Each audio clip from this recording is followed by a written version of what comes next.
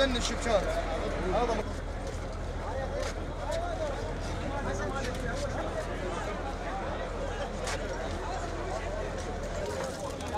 ابد ابد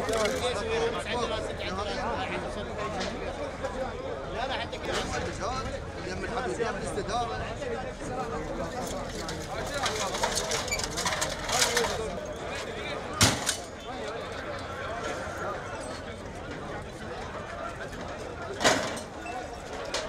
فاكو سيارة كانت مركونه وانفجرت على الناس. فاكو شهداء وجرحى.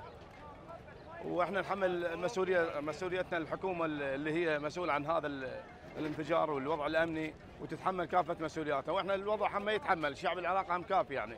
هم يتحمل. ون- ونتمنى إنه نوصل رسالتنا لهاي تصريحات من رنان ظافر العاني وغيره والتصريحات اللي هي تأجج الشارع ومو بصالح ال- خصوصا المواطن العراقي الفقير. هو هنا يشتغل. إي والله بال- بالعتيق. بعدنا ما شايفين. إي والله. هو هسه جاي علي. تدورون عليهم شنو؟ إي والله أنا ما جاي أسأل علي. وهذا أخوي هنا طابق طبق جاي من سطر جاي يروح لاهله وما حسك هنا سيارة طقت. أنا سيارته وأنا وابن أخوي هنا عبرني.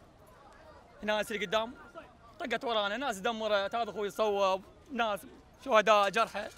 ما شو مسوين؟ ما ندري. هاي إحنا على عيشتنا. والحمد لله والشكر هاي كاتب الله يصير. شوف هسه إحنا بشهر رمضان شهر الطاعه إحنا سايطونا عيدية بدينا إحنا إحنا كل عيد نفجر ما يصير هيك. شنو ذنبنا إحنا؟ يعني حتى بعد ما بينا أمان بالعراق ما بينا أمان بالعراق كله. إحنا نطالب قوات الأمنية كنت تجي هنا توقف على الناس على باب الله كلها صاحبة عوائل. يعني ما يصير هيك يا خالد ما يصير والله العظيم. نطالب مصطفى الكاظمي يعني الحلبوس يشوفون على هاي الوضعية هاي الشباب كلها راحة. شنو ذنبه شاب يعني يروح هسه سيارته احترقت هذا احترق ومات بوجهه يعني هاي شوف هذا مصدر رزقه هذا كله ما. بسبب بسبب من.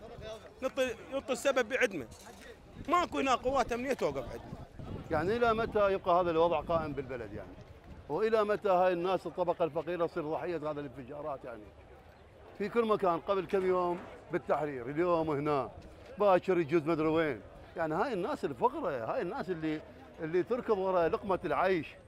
ورا خبزتها تي تعيش عوائلها. تصير ضحية انفجار ناس بؤر ضالة يعني. هاي البؤر الضالة اللي اللي اللي تعيث الدماء العراقيين اللي تلعب بدم العراقيين. إلى متى يعني؟